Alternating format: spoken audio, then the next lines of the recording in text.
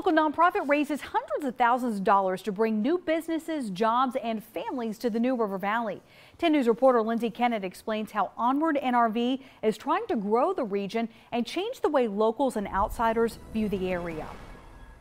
And then a Kit uh, Kat. Yep.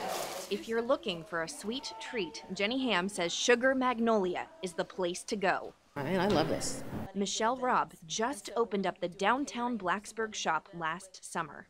We really see an evolution coming. It's an exciting time in the NRV. But they agree the new River Valley needs more opportunities. There's so much that is in need of coming, and there's so much that's here. That's where Onward NRV comes in. The nonprofit exceeded their $1.5 million fundraising goal to promote economic development in the region.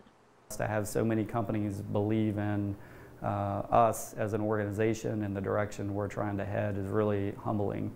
Executive Director Charlie Jewell says this money will help them market the NRV to new industries like manufacturing, food and agriculture, and IT.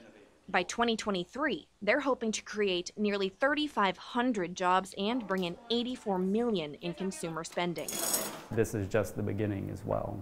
Over the years, Jewell says that the focus of economic development has shifted from companies to people because people innovate and having talented professionals living in thriving communities will make businesses want to move to the area. We want uh, professionals within those industries to think of the New River Valley when they're thinking about where they want to live and work. Robb and Ham say attracting young families is a big piece of the puzzle. Activity breeds activity, so we want to see that vibrancy. I think that's how you bring um, smart young people to, to a town, and we like to keep it that way here. And a unified vision will move the NRV forward. In Blacksburg, Lindsay Kennett, 10 News, working for you.